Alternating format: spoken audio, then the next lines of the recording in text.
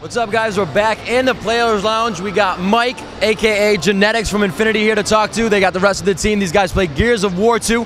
They're actually going for their first matchup on stage, the pressure match for the tournament. Well, how you guys feeling? We're feeling really good. We're coming into this event really confident. We put a, lot of time into developing our strats and whatnot, and try to become a more teamwork-based team. You guys like to, when you're playing Gears, do you like to do the 2v2s or just stick as a four? You got to do what the other team is doing to compensate. Uh, well, we used to do a lot of two-on-twos, but the game's turning into a, more of a teamwork-based game, so it's a lot more working together as a team, as a whole, in a four-on-four pushes and stuff like that. Right on. You got, coming off a rough MLG season, you guys think you've worked out the kinks already? Yeah, we brought back our old roster we had uh, in MLG last year, and um, we expect big things this, going into this event. How do you guys feel about the competition here today? Uh, it's pretty good. The best of the best teams are here. All the best teams qualified, so we expect a, a lot of tough competition here.